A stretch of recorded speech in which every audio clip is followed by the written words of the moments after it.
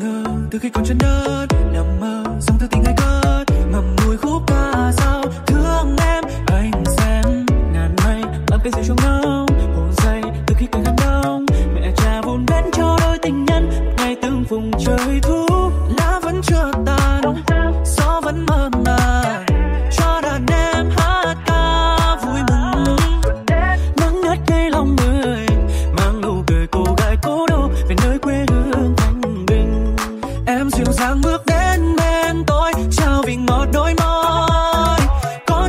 i'm